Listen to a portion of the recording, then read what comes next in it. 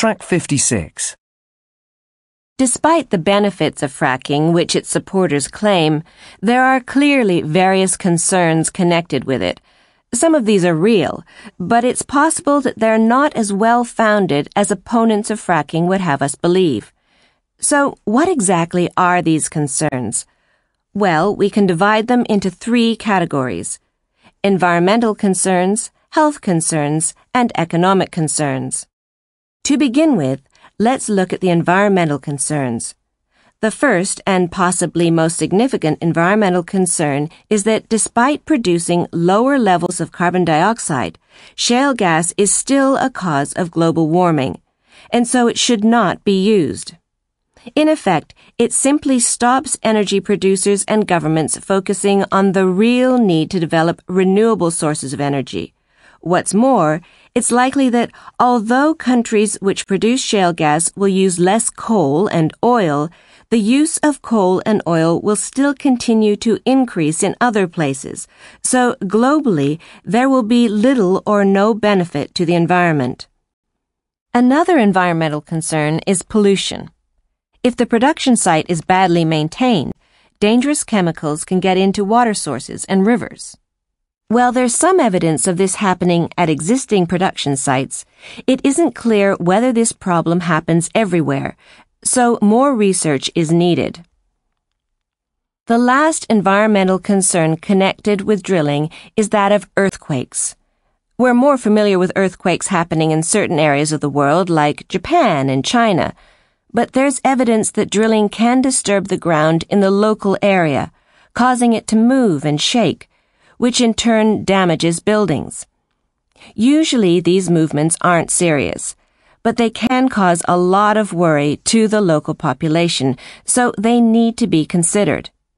In fact, very few of these ground movements have definitely been caused by drilling, and it might be that people are worried because of what they hear or read in the media rather than the actual reality of the situation.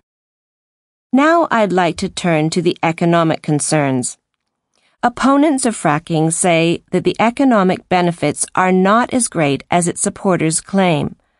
Well, there's clearly an increase in economic activity in the areas where fracking is carried out, as I discussed earlier. There are often negative effects on agriculture and farming in these areas. And there's good evidence that house prices fall, because people aren't willing to move into areas where fracking is taking place or has taken place.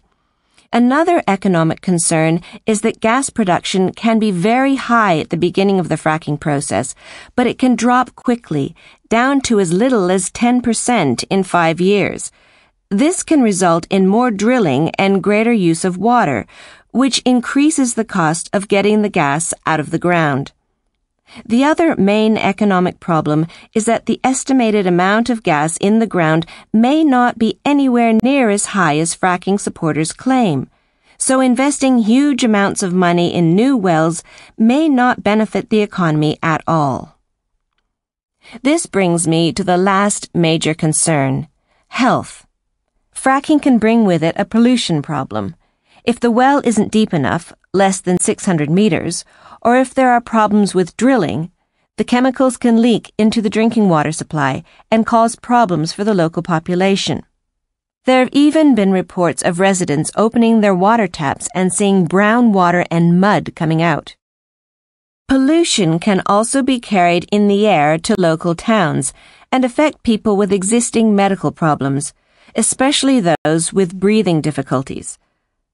There have even been reports of more cases of cancer among people living near production sites, as well as among the workers themselves. Clearly, a lot more research needs to be done on the effects of fracking on health.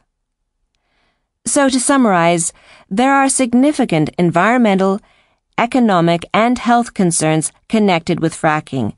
But we need to carry out a lot more research to see whether these concerns are real. Whether they're real or not, they're having an effect on the fracking industry right now. In many places around the world, local people have protested angrily when they found out that fracking is planned in their area. These concerns have also led local, regional, and national governments to announce that fracking won't start until they're quite sure that it's safe. This means that they'll prevent any activity connected with fracking until there's enough evidence to assure its safety, especially in areas with higher populations. In fact, in France, they've decided not to allow fracking anywhere in the country. We can see that the future is very uncertain, and that is what I'd now like to discuss.